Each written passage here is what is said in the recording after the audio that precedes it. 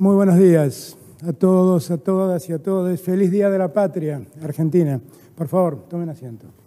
Muchas gracias a todos por acompañarme. Gracias a, a todos los que están del otro lado de la pantalla viéndonos. Miren, aquí estoy yo y está el gobierno de la Argentina. Amplíen esa imagen. Muestren porque detrás mío está cada uno de los gobernadores de nuestra patria. Y yo prometí que el gobierno, el 10 de diciembre, iba a ser el gobierno de un presidente y de 24 gobernadores. Esos 24 gobernadores estamos, están hoy junto a mí, unidos y trabajando para enfrentar lo que nos toca vivir, simplemente. Y quiero, antes que nada, nombrarlos rendirles mi gratitud y comprometerlos.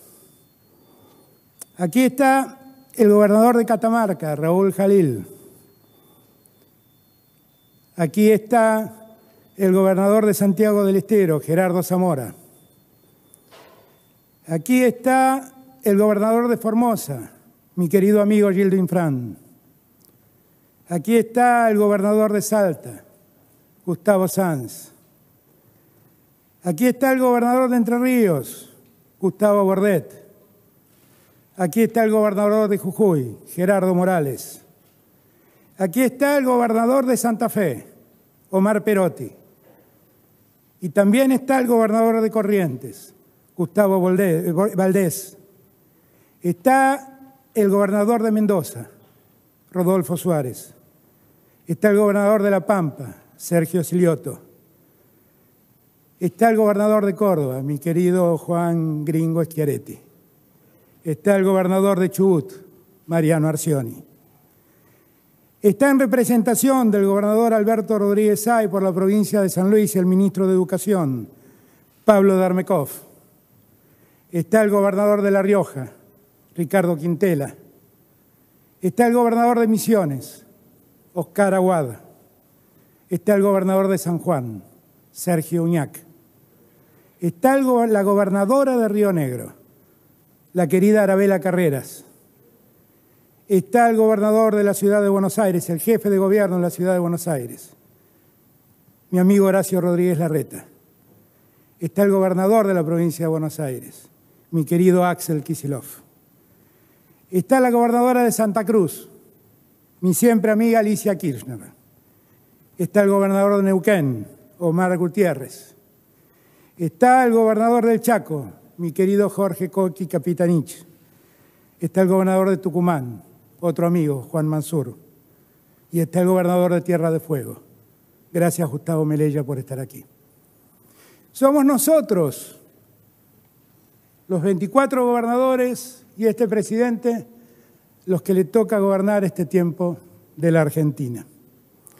Hemos empezado este acto que es una jornada de celebración del día en que la Argentina decidió independizarse, escuchando el himno nacional cantado por Mercedes Sosa. Y no es casual. Hoy Mercedes cumpliría 85 años. Mercedes nació en Tucumán. Sufrió las desventuras de la Argentina. Sufrió el exilio, volvió. Siempre tuvo esa voz inmaculada que le escuchamos al cantar el himno y es tucumana, de la misma provincia del querido Juan Mansur, de allí, del mismo lugar donde la patria gritó su independencia. Eh, yo le agradezco a la Fundación Mercedes Sosa que nos haya autorizado utilizar la voz de la querida Mercedes para, para empezar este acto y escuchar el himno. Le cuento a los tucumanos que a partir del día del de hoy Radio Nacional volverá a llamarse Radio Mercedes Sosa, como siempre debió ser y algún día dejó de ser. Y me gustaría poder hablar con mi amigo Juan Mansur, que está allí en Tucumán, para que nos cuente desde, desde aquella casita tan grande para la historia de los argentinos, que nos cuente cómo está pasando este día. Gobernador amigo. Muy buenos días, querido presidente, querido Alberto, a todos los colegas gobernadores, a todas las instituciones y los representantes de estas instituciones que lo están acompañando. Bueno, un día muy especial, 204 años. La Argentina nació aquí, nació en el interior, nació en el norte argentino, Nació en una casa de familia.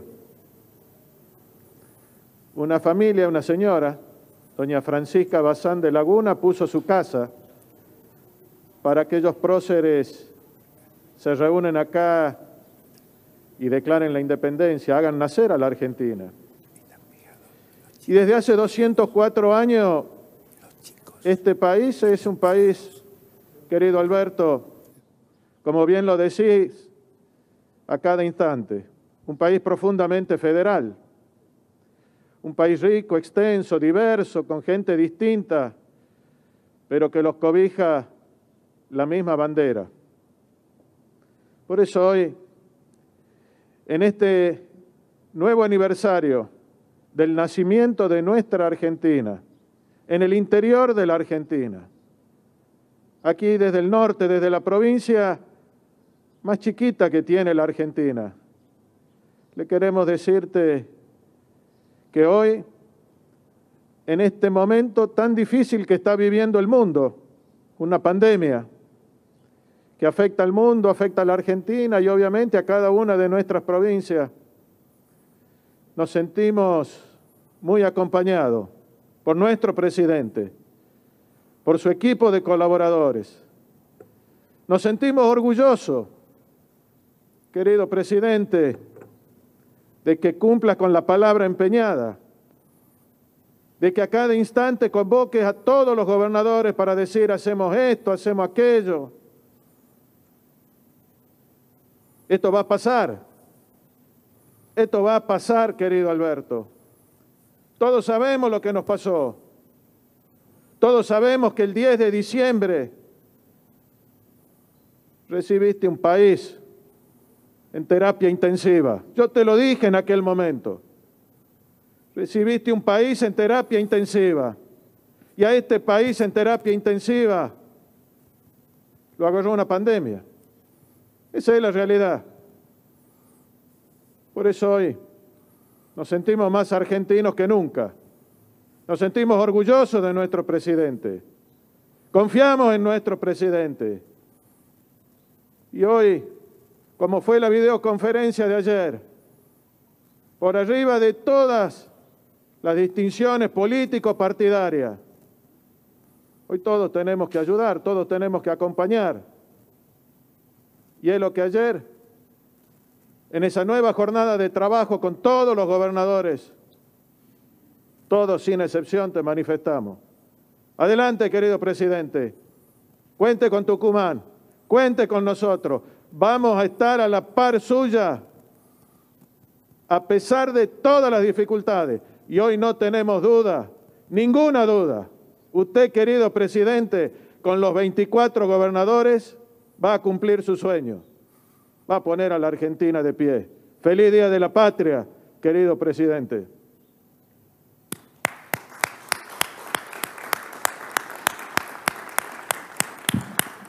Bueno, muchísimas gracias, querido Juan, muchísimas gracias. Lindo escucharte, lindo verte en tu, en tu pequeña patria, y esa provincia tan chiquita territorialmente y tan grande en historia para todos los argentinos. Miren, les propongo que antes de que hable yo y les diga algunas palabras por este día, recordemos el acta de la independencia que aquel 9 de julio de 1816 firmaron grandes hombres de la Argentina. Vamos a escuchar cómo los chicos de la Argentina, niños, niñas, niñes, leen el acta de la independencia. Vamos a oírlos.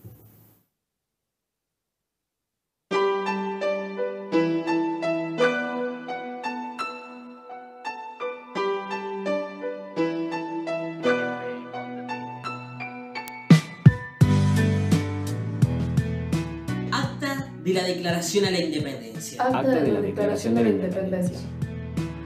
Nos, los representantes de las Provincias Unidas en Sudamérica, reunidos en Congreso General, invocando al Eterno que preside el universo. En el nombre por la autoridad de los pueblos que representamos. Na na alwa Protestando al cielo, a las naciones y hombres todos del globo la justicia que regla nuestros votos. Declaramos solemnemente a la faz de la tierra. Que es voluntad unánime e indubitable de estas provincias. Romper los violentos vínculos que la ligaban a los reyes de España. Recuperar los derechos de que fueron despojadas.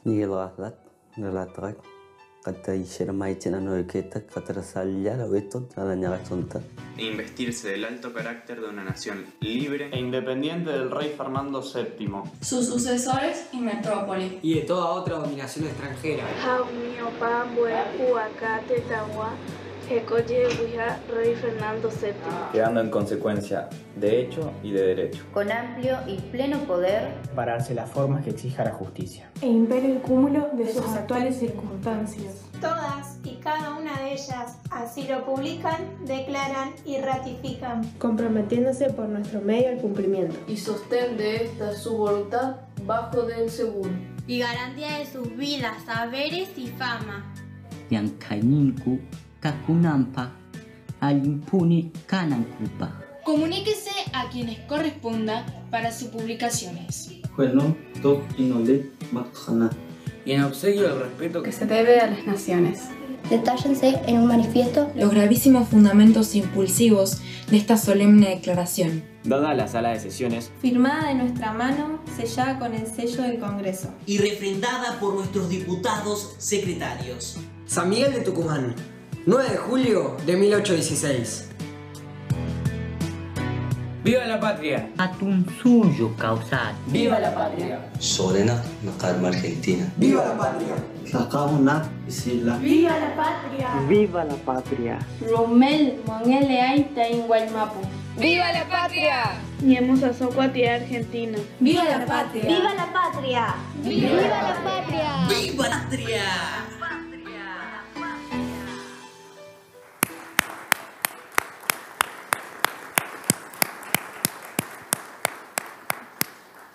Muy bien.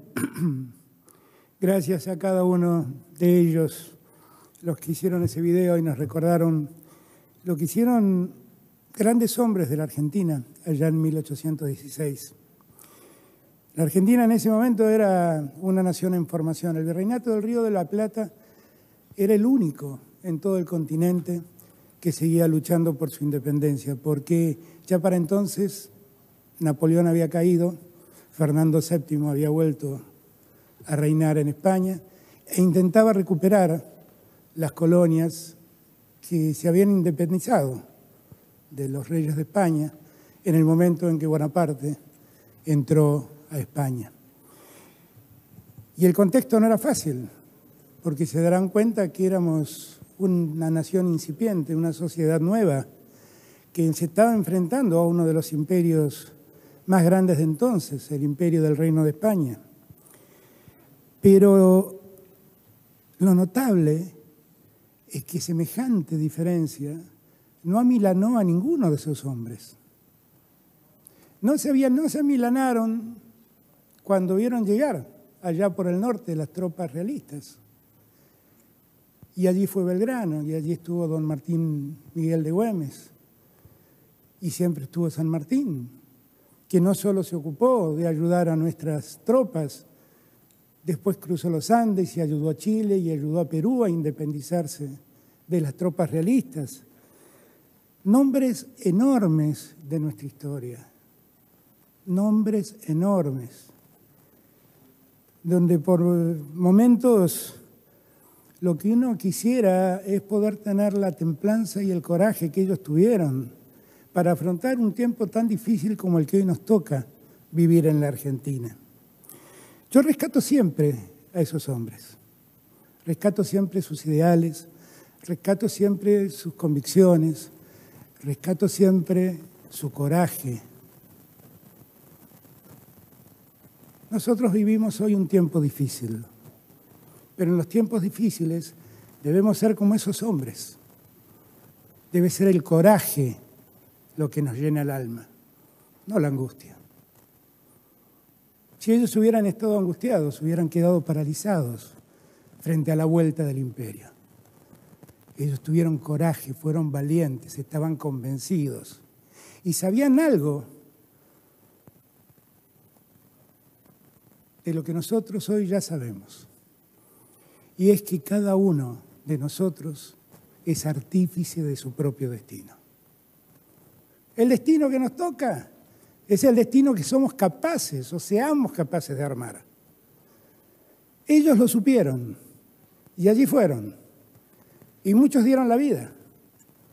Siempre rescato a Güemes, ese general muerto en batalla, que cuando los realistas le propusieron socorrerlo a cambio de entregar a su ejército, mandó a su ejército a pelear el doble y morir allí, en el monte salteño. Fue ese coraje, fue esa valentía lo que nos hizo sentir lo que hoy somos, un país independiente. Ahora, este tiempo es un tiempo diferente. Gracias al coraje de todos ellos, gracias a la decisión de todos ellos, de mujeres enormes que ha tenido América Latina, como Juana Zurduy, que hicieron posible que, no, que hoy seamos un país independiente que se llame Argentina. Hoy nosotros podemos vivir este presente. A veces me pregunto, ayer lo hablaba con los gobernadores, y les decía, la verdad, este es el tiempo que hubiéramos querido que nos toque. No, definitivamente no. Este no era el tiempo que hubiéramos querido que nos toque. Hubiéramos querido que nos toque un tiempo tan difícil como el que Juan describió era la Argentina del diciembre del, del 2019. Y hubiéramos querido poder empezar y hacer frente a las necesidades de la Argentina de entonces. Pero de repente a todos, absolutamente a todos, a cada uno de esos gobernadores que están viendo en pantalla, y a este presidente, y al mundo, nos apareció, como le gusta decir a Axel, usar minúsculo imperceptible al ojo humano que dio vuelta al mundo, que se llevó cientos de miles de vidas, que enfermó a millones de personas y que por sobre todas las cosas hizo crujir los cimientos de la economía mundial. Y en ese contexto nos toca este 9 de julio. No es un contexto fácil. Los que en 1816 declaraban la independencia argentina tampoco habrán pensado en una pandemia. A nosotros nos toca este revuelo, este revuelo universal que es la pandemia. Y la verdad es que a siete meses de haber llegado al gobierno, yo rescato algo que como país fuimos capaces de hacer. Estuvimos todos asediados por un virus que ponía en jaque a nuestros pueblos. Y todos, todos estuvimos de acuerdo en que había que preservar la salud y la vida de la gente antes que nada.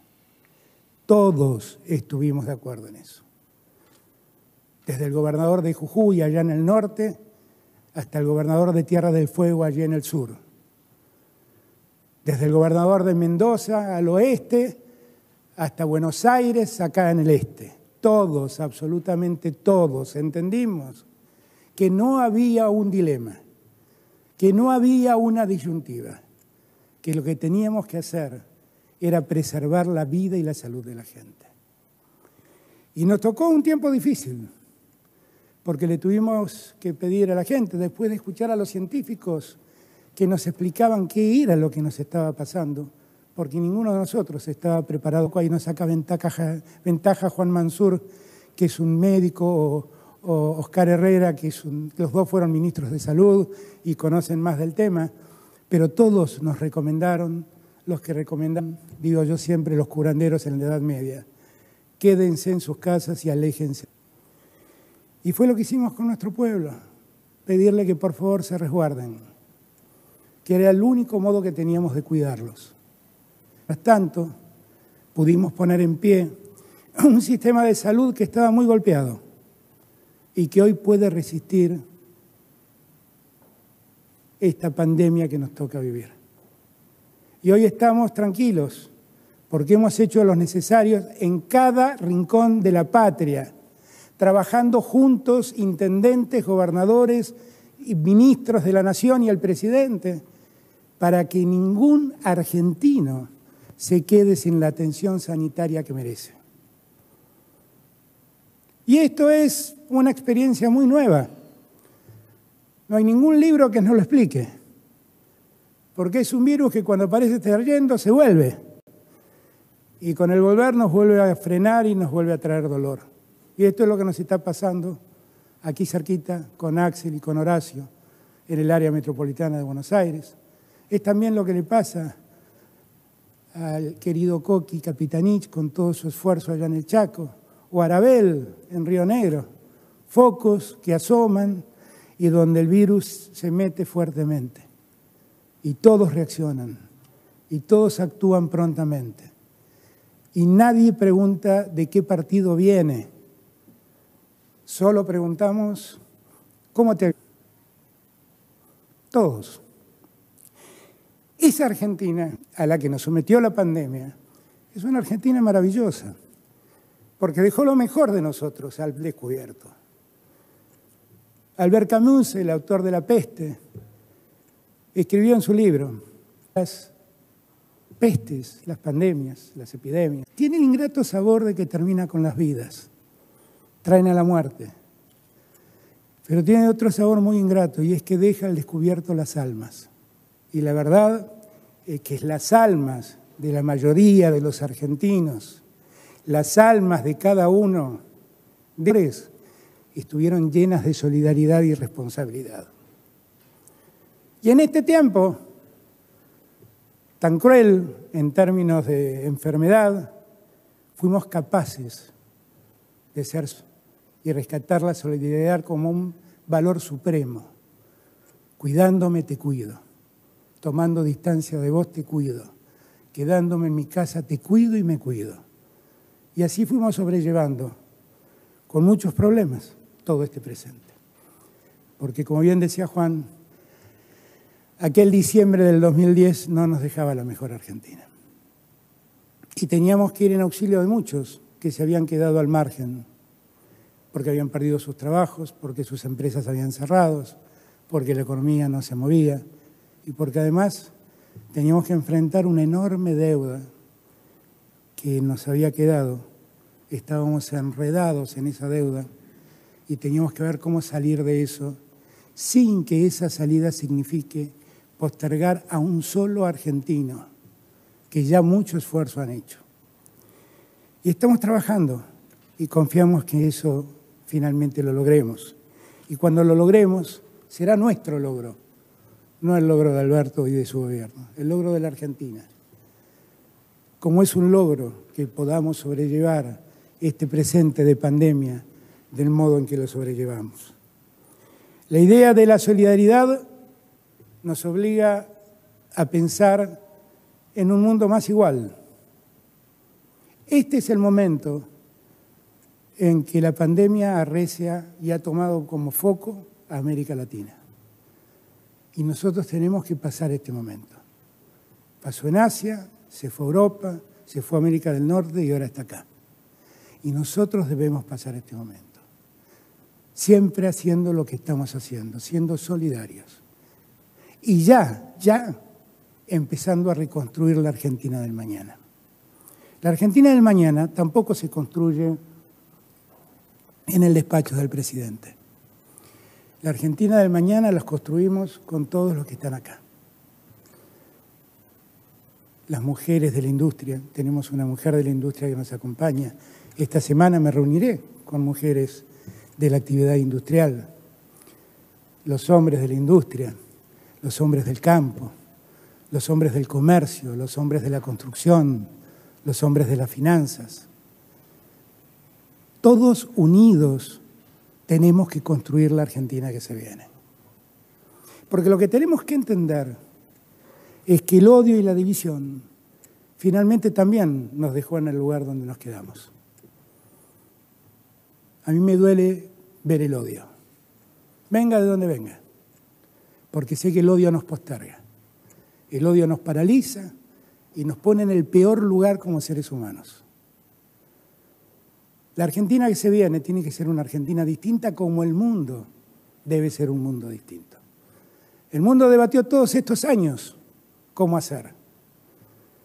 Y la verdad, de repente, ese virus imperceptible a los ojos humanos, como dice Axel, hizo temblar las bolsas del mundo y además de llevarse vidas, se llevó muchas empresas y muchos puestos de trabajo de la faz de la Tierra. Y en la reconstrucción tenemos que lograr un sistema más justo, más igualitario, porque tampoco debemos olvidar que estamos en el más desigual del mundo. ¿Cómo vamos a hacerlo? Juntos. En cuanto pase, también el 17 de julio, que es el tiempo de cuarentena que hemos fijado para el área metropolitana de Buenos Aires, y cuando todo esto empiece a tomar eh, un poco de calma, nosotros ya estamos trabajando, que están aquí, en el, en el futuro. En el futuro. En ese futuro, los que trabajan tienen un rol central. Los que trabajan han hecho un enorme esfuerzo. Yo valoro mucho lo que han hecho los hombres del sindicalismo argentino por sobrellevar este presente. Acá también está uno de los secretarios generales de la CGT. Pero a todos, a todo el sindicalismo, yo le doy las gracias por haber entendido la fragilidad de este tiempo. Entre todos, los que invierten en la empresa, los que invierten en el campo, los que trabajan en el campo y en las empresas, los que trabajan en servicios, los que trabajan en el comercio, entre todos vamos a poner de pie a este país.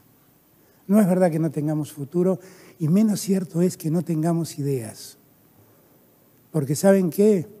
Este presente nos permitió ver las cosas en su, verdad, en su real dimensión.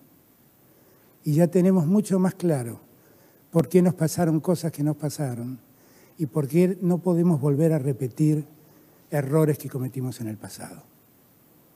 Este 9 de julio yo quiero que para todos sea la inyección de fuerza que todos los argentinos precisamos para ponernos de pie. Y que entendamos que ninguna sociedad concreta su destino en el medio de insultos, en el medio de divisiones y fundamentalmente teniendo al odio como común denominador. Yo vine acá a terminar con los odiadores seriales. Y vine aquí a abrir los brazos para que todos nos unamos en busca de ese destino común. No vengo a instalar un discurso único. Yo sé que hay diversidad y celebro y propicio la diversidad en la Argentina. Diversidad de todo tipo diversidad de género y diversidad ideológica. La celebro, no me afecta. Lo que necesito sí es que esa diversidad sea llevada adelante con responsabilidad. Y la primera responsabilidad está en no mentir, en decir la verdad y en respetarnos. El primero que quiere eso es el presidente de la Nación. Y es otra vez el compromiso que asumo públicamente con ustedes, con cada uno de los 24 gobernadores de la Argentina, con vos que estás estudiando, con vos que sos chiquito y todavía estás en el colegio y estás recibiendo tus clases por internet, con vos que sos estudiante universitario y tal vez también recibís mis clases por internet o las de otros profesores. Todos ustedes tienen un futuro. No es verdad que no lo tienen. Y nosotros, que somos la generación que nos toca gobernar, vamos a hacer que ese futuro exista, para vos, pero que exista para todos, ¿eh? Para que exista allá en Los Toldos, creo que se llamaba la ciudad de, de Salta, que ayer logró algo maravilloso. Por ahí está el gobernador de Salta. Esa era una ciudad argentina, donde para poder llegar había que cruzar 100 kilómetros de territorio del querido pueblo hermano de Bolivia. Pero desde ayer eso no hace falta, porque quedó integrada con caminos a la Argentina. Y no hace falta salir de la Argentina para llegar allí. Que nos sirva esa prueba que ayer Gustavo logró en Salta, para darnos cuenta que aquí todos debemos crecer y desarrollarnos, que esta Argentina centralizada no ha dado buenos resultados. Ayer cuando pusimos en marcha las obras de un nuevo puerto en la provincia de Santa Fe sobre el río Paraná, pensaba que de ese modo estaba facilitando que toda la producción del norte salga sin tener que llegar al puerto de Buenos Aires, salga por alguno de esos puertos que la hidrovía hoy ofrece. Y hasta allí llega el tren que viene del norte, trayendo soja u otros cereales u otras producciones de las provincias del norte. Cuando me vaya del gobierno quiero que tengamos una Argentina federal, donde cada argentino tenga la posibilidad de encontrar su futuro en el mismo lugar donde nació, que pueda vivir allí feliz y que el día que muera pueda decir, qué feliz fui viviendo en el lugar donde me tocó nacer. A todos, a todas, a todos, feliz Día de la Patria. Otra Argentina empieza hoy. Muchas gracias.